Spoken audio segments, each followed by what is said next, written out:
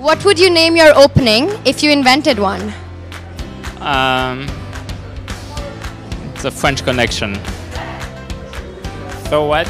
Well, I would name it the Bong Hikaru. The Beast. Uh, the peasant attack. Howl's Howler.